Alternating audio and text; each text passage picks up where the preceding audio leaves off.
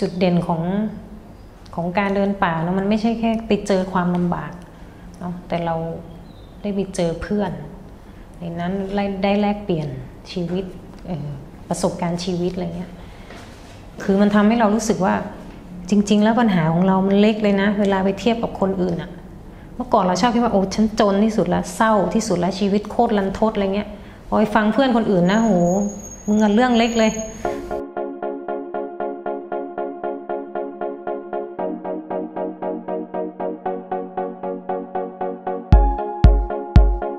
มันทำให้เราสึกรู้สึกว่ามันไม่ใช่เรื่องใหญ่บางทีเราปล่อยวางปุ๊บมันก็หายละ เหมือนตอนเราฉีกกระดาษทิ้งทิ้งหนังขยะอะไรเงี้ยค่ะบางเรื่องไม่ต้องแบกอะเอาทิ้ง มันมันรู้สึกว่ามันทำให้เราปล่อยวางได้หลายๆเรื่องใช่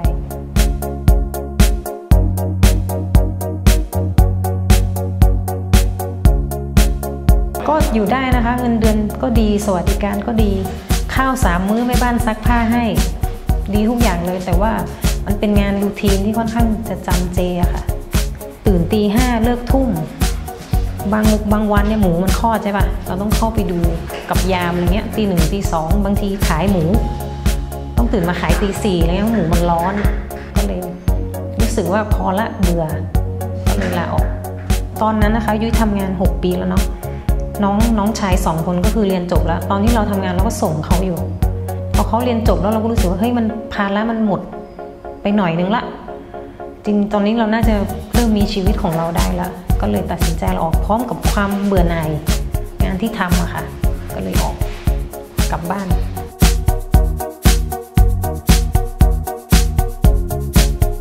มันก็ยังมีเรื่องเวลามาครอบเราไว้อยู่ เพราะเราโฟกัสเรื่องงานมากตอนนั้นคือเป็นหนี้เยอะตั้งแต่ทำงานแล้ว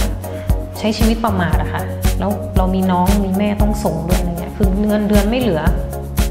นอกจากไม่เหลือแล้วก็เป็นหนี้ด้วย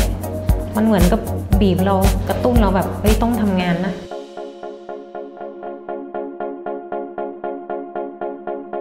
ใช่ ตอนนั้นมันเป็นช่วงจังหวะที่มันแมทกันหลายๆอย่างพ่อพ่อพี่ป่วยอยู่ช่วงหนึ่งแต่ช่วงที่เราคิดว่าเราจะไปเนี่ยแกหายป่วยละพ่อจริง ๆนะคะ ส่วนพ่อเออส่วนพ่อเลี้ยงกับแม่เนี่ยเขาใกล้เกษียณละ แล้วก็พ่อเลี้ยงเขาเป็นคนขยันนะอยู่นิ่งไม่ได้ เราเคยมีความสุขกับร้านต้นไม้ใช่ปะ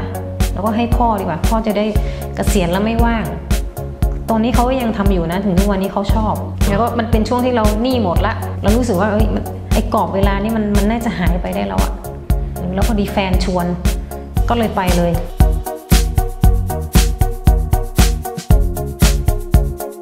ช่วงช่วงแรกจะง่าย เขาเรียกว่าอะไร เป็นเลเวล มันเหมือน มันเหมือนในภาพจิ๊กซอค่ะ ต้นไม้สูงสูงใบมันกำลังร่วงช่วงนั้นอะ มันก็เป็นสีน้ำตาลเป็นพื้น แล้วก็จะมีต้นไม้ข้างๆพอไปเรื่อยๆ มันก็เข้าช่วงสปริงเนาะ ใบไม้มันก็เริ่มเขียวแล้ว คือทัศนียภาพมันเปลี่ยนไปเรื่อยๆ แต่มันจะไปโหดช่วงท้ายๆอะค่ะ ช่วงท้ายนี่คือไม่รู้ใครเป็นคนคิดอะเทรลอะมันขึ้นแล้วมันลงแล้วมันอ้อมภูเขาแล้วบางทีต้องถอดกระเป๋าออก ต้องรอดไปอะไรเงี้ยค่อนข้างโหด อากาศก็นะหนาวหิมะตกบ้างก็มีฝนตกก็มี แล้วบางครั้งน่ะเดินมากมันเป็นห่อน้ำอะที่ที่ส้นเท้าอะค่ะลองนึกภาพคือมันแสบแล้วมันเสียดสีอยู่ตลอด ถ้าหยุดก็เปียกหยุดก็ร้อนหยุดก็หนาว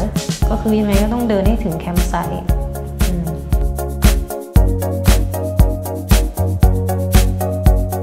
คือตอนใหม่ๆนี่โอ้โหแบบตื่นเต้น วางเป้าต้องไปให้ถึงอะไรเงี้ยเหมือนเหมือนเหมือนมันง่ายอะ่ะเพราะเขาเราเห็นภาพคนที่เขาไปถ่ายรูปก็เยอะอะคือเขาไปแล้วเขาสำเร็จเขาก็ถ่ายรูปเหมือนหนังสือรุ่นนะคะแต่พอไปเดินจริงๆอะมันยิ่งเดินยิ่งท้อมันเหนื่อยแล้วมันไม่ถึงสักทีแล้วว่ามันปวดเมื่อย บางครั้งมันเหมือนต้องบิ้วอะถึงเรื่องเก่าๆที่เราเคยโหดๆเจอมามากกว่านี้หมายถึงเรื่องเก่าๆในชีวิตของเราเนี่ยค่ะ คือมันเยียวยากันไม่ได้อะค่ะ โอเคเดินด้วยกันจริงอะแต่เดิน ท้าใครเท้ามันอะบางทีเราต้องต้องคิดเอาเอง แล้วการได้เจอเพื่อนระหว่างทางมันได้แชร์กันเนาะคือ หมอก็มาเดินก็มีคนจนๆก็มาเดินก็มีเพิ่งเรียนจบบางคนหย่ามาปัญหาครอบครัวก็มีทหารเกษียณที่เคยไปลบ แล้วก็เขาเรียกว่าเป็นโรคที่แบบเกี่ยวกับความเครียดค่ะ ก็มาเดินมาเดินด้วยกัน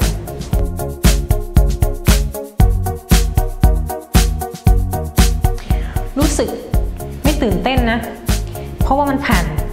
เรื่องตื่นเต้นมาเยอะแล้วอะไอ้เรื่องสนุกสนานมันอยู่ระหว่างทางหมดเลย ความเจ็บความปวดความหิว ได้คุยกับเพื่อนพอถึงจุดหมายปลายทางแล้วก็ไม่ได้รู้สึกตื่นเต้นอะไรมาก แต่มันมันย้อนกลับไปนึกถึงเรื่องที่เคยเคยผ่านมามากกว่า แต่ธงชาตินี่พกมานะกะว่าถึงแน่ไปถึงแล้วก็เลยเอานิดนึง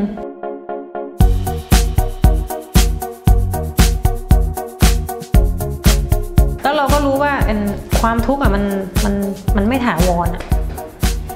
อิ่มหิวใช่ป่ะเราหิวเดี๋ยวเราไปกินแล้วเราอิ่มละมันอยู่ไม่ถาวรหรอก มันเหมือนเรากลับมา back to basic มันมันมีความสุขกับเรื่องง่าย ๆ